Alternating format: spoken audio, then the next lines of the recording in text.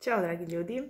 E, evo, javljam vam se ovdje zato što sam tela, onako, ostavila sam potrebu da e, pojasnim malo neke koncepte oko promjene perspektiva, odnosno usvajanje nekih viših perspektiva. E, zato što suštinski promjena perspektiva nam donosi dugotrajno isceljenje, ajde tako da kažem. Ovaj, kao što ste vidjeli, nedavno sam objavila ceo snimak radionice Duhovni svet i u toj radionici smo, ja i moja sestra jako puno pričala o tim nekim e, konceptima i perspektivama koje dolazi sa, sa više svesti iz nekih, ajde da kažem, e, viših dimenzija. I važno je samo znati da nije, nije cilj da mi e, konstantno živimo iz te perspektive viših svesti, ajde tako da kažem. Zato što život na zemlji podrazumeva mnogo više od toga. Zapravo podrazumeva da E, poštujemo i živimo sa perspektivom koju imamo na zemlji, a to je suštinski perspektiva ega, jel? E, tog, ajde da kažem, nižeg uma, um koji nam je dat kao alat kako bismo zapravo preživjeli na zemlji. I on je jako validan i jako je, jako je važan. I ne možemo tek tako da ga ignorišemo i da kažemo da recimo da neka tragedija ili da neke tužne stvari se eto ne dešavaju na zemlji, nego da, jer, zato što recimo više perspektiva, iz više perspektive, iz viših dimenzija, ništa se tragično ovdje ne dešava. Dakle, kao da imamo neke dve istine i deluju kontradiktorno. Jedna kaže da postoji zaista strašne stvari na zemlji se dešavaju, živimo u svetu dualnosti, dakle postoje divne, divne stvari s jedne strane, postoje isto tako i teške stvari koje proživljavamo tokom života. I cilj duhovnosti nije da mi invalidiramo tu perspektivu i da kažemo ne, to nije tačno, sve je za više dobro i eto, sve se uvijek najbolje dešava za nas i ne moram sad da patim. I da zaobiđem ceo taj proces zapravo prolaska kroz patnju, integracije, razumevanje te perspektive i tako dalje. Dakle, vrlo je složena priča i suštinski podrazumeva da sad tokom ovog procesa uzdizanja i transformacije mi razvijemo kapacitet da držimo nekoliko perspektiva unutar sebe. Dakle, da više nije samo jedna perspektiva koja je ego perspektiva, a to je moj utisak i percepcija života se bazira na informacijama koje sam do sada, do sada pokupila. Dakle, na osnovu ovog života, iskustva koje sam imala, koje su i pozitivna i negativna, ja razvijam određeni zaključak. Dakle, to je jedna perspektiva postoje sad kako se, da kažem, na tom duhovnom putu uzdižemo, počinju da nam se javljaju te više perspektive. Fora kod tih viših perspektiva je što one zaista nam donose veliko olakšanje i mir dugotrajno, ali do njih se ne dolazi tako što zaobilazimo ove, da kažem, niže perspektive. nego do njih se dolazi postepenom integracijom. Dakle, mi se non stop šaltamo suštinski. Dolaze dani nekada kada zaista smo onako u, u tom flowu, gdje zaista vidimo smisao svega, da nam dođu onako neki, neki zaključci da shvatimo, aha, pa eto, možda je i dobro što se sve to tako izdešavalo, što su se možda neke veze završile, što sam napustila neki posao ili šta god. Znači, do te perspektive se postepeno dolazi.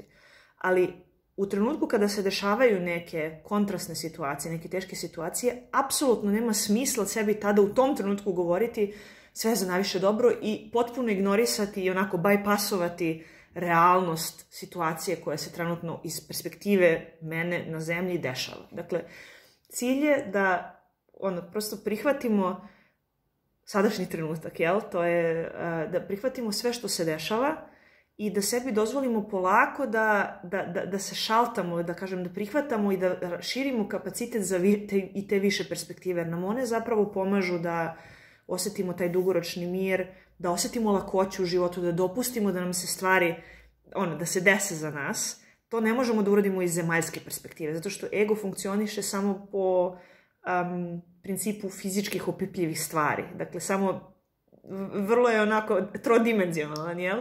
Više perspektive podrazumijevaju sagledavanje stvari koje nisu fizičke a za to je potreban određeni onako, nivo kapaciteta da, da, da, to prosto možemo da obuhvatimo i da uzemljimo. Znači, nije fora da stalno bežimo u te više perspektive i da smo neuzemljeni i da suštinski izbegavamo realnost. Ne, nego da prosto budemo svesni sebe, To je taj self-awareness. Dakle, da, da dostignemo taj nivo svesti da, da vidimo gde, gde se trenutno nalazimo. Da li sam trenutno prolazim i obrađujem neku onako težu emociju i u tom trenutku dopuštam sebi da je osetim, ne bežim od nje, sagledavam je, radim sa svojim telom, posmatram svoj um, gledam koje informacije mi dalje i tako da. Dakle, posmatranje sebe, ne, ne zaobilaženje.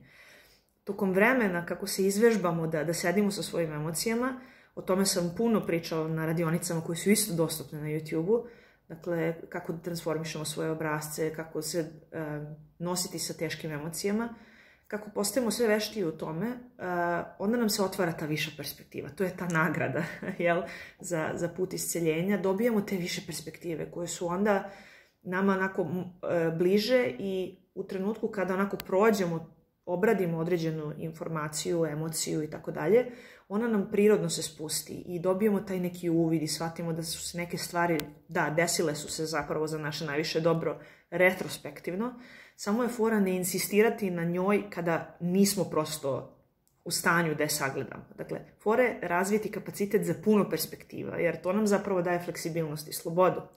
Onda nismo rob ni zemaljske perspektive, niti rob viših perspektiva koje su jako validne, ali e, ne u svakom trenutku.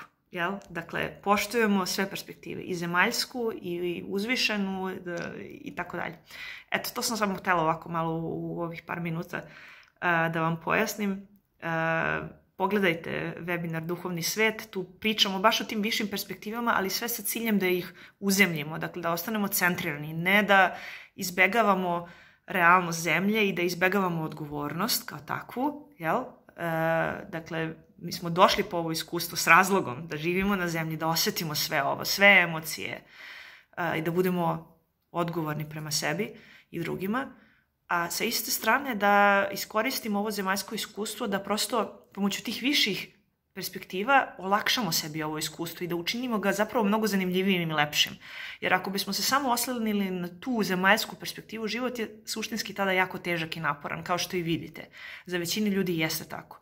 Ljudi koji imaju višu svest, proširenu svest, oni ne izbjegavaju zemaljsko, ne ignorišu i ne validiraju, ne govore, ne postoje negativne stvari. Apsolutno postoje, živimo u, u svetu dualnosti, ali opet znanje, poznavanje ima i svest o višim perspektivama, o višim dimenzijama i znanjima koje dolazi sa više svesti, nam zapravo olakšava put prolaska kroz ovu uh, školu zemlje, ajde tako da je, da je nazovem. Tako da eto, Poruka svega ovoga je da razvijamo kapacitet za više perspektivi i da se šaltamo po njima po potrebi. Jel? Dakle, moramo da budemo vrlo svesni sebe šta se dešava, da dobro poznajemo svoj sistem unutrašnji, jako, jako dobro, jedino mi možemo da ga poznajemo, niko drugi, i da tačno znamo gde se nalazimo i koja perspektiva nam trenutno prija, a prija nam ona koja nam daje olakšanje.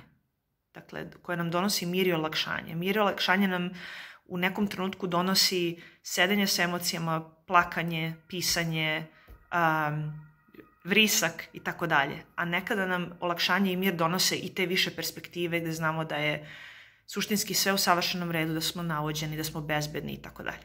Tako da eto, nadam se da vam je ovaj video malo onako pomogao da, da shvatite zapravo koji je cilj duhovnosti, da nije e, bežanje od bilo koje realnosti, nego zapravo integracija i razvijanje kapaciteta za, za sagledavanje života iz mnogo više uglova nego samo jednog.